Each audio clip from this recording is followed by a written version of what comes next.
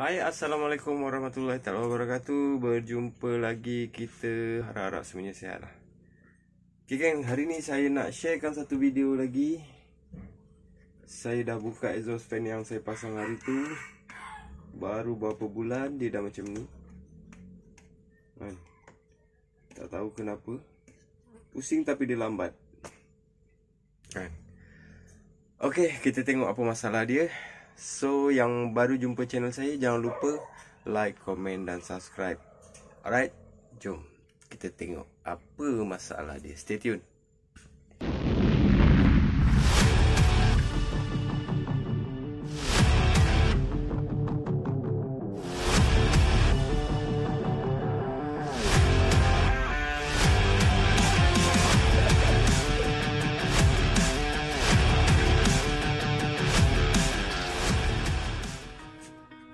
Geng ni tadi saya dah sambungkan wire.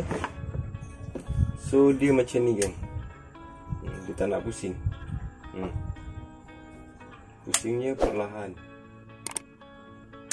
Hmm. Alright. Kita tengok apa masalah dia.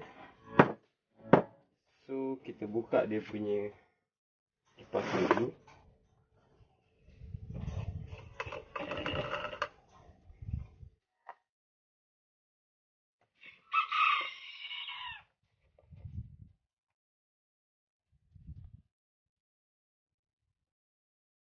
Right kan mungkin dia punya bush sebab dia bukan bearing, dia bush.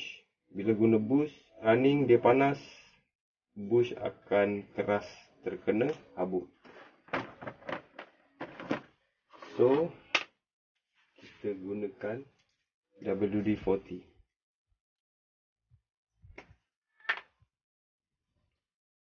Sikit je gang eh, jangan banyak-banyak takut dia kena kat motornya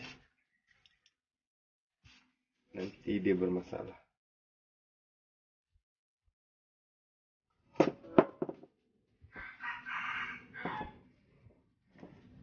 Okay, begitu saja. Tengok dia dah boleh nak pusing. Okey, belakang ni pun ada gang ya. Dekat belakang ni pun dia ada juga. Tu. So kita letakkan jugalah.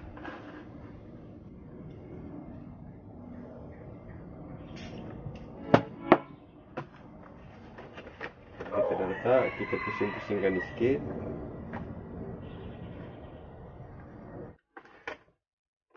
Okay, kemudian. Okay, tambah lagi sedikit. Kemudian kita onkan dia. Alhamdulillah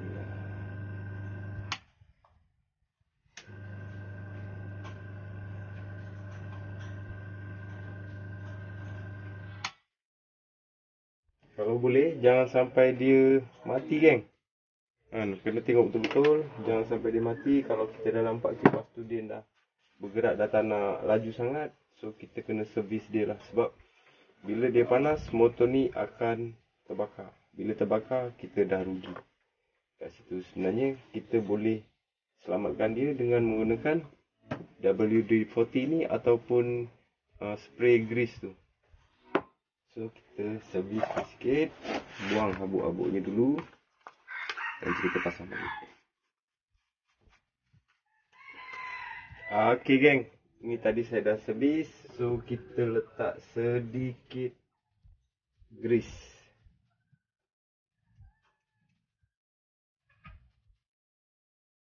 Sedikit grease kat dalamnya. Sebab bila kita guna WD-40 ni dia kalau panas dia kering. Dia cepat kering. So kalau boleh kalau ada spray grease tu ah itu lagi cantik lah.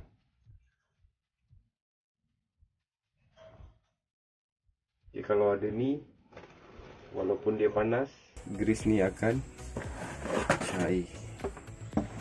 Seperti juga yang kat belakang ni geng. Kita letak sekali